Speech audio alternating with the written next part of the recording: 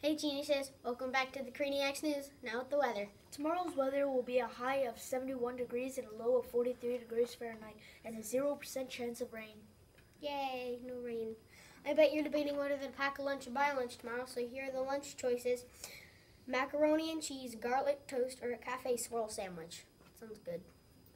We've been having some trouble with logging out completely, so please remember to log out completely Remember to completely log out of a computer.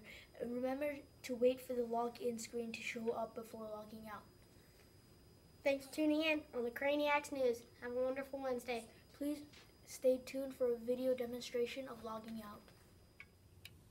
Good morning, boys and girls. We've continued to have some issues with signing out of the computers and having the keychain issue. Right now, we're going to demonstrate how to correctly log all the way off of the computer the way that we would every time a student finishes using the computer before another student uses it. It's very important that you follow all of these steps every single time you're signing out of the computer. Michael's going to demonstrate for us on one of our MacBook Airs.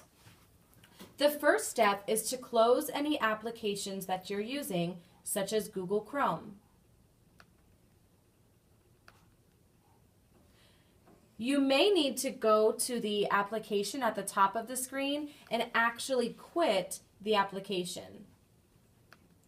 Once all of your programs are closed, you're going to find the apple in the top left of your screen. Clicking the apple once shows a menu of options. Choose the last option, Log Out Guest User. You do want to delete files and log out because this clears the computer's memory and gets it ready for the next user. Be careful not to close the computer while this screen is appearing. This is when your computer is thinking and making updates for the next person.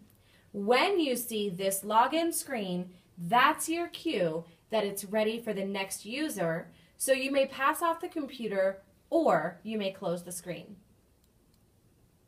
Please remember to follow these steps every time you finish using any computer on campus. Thank you.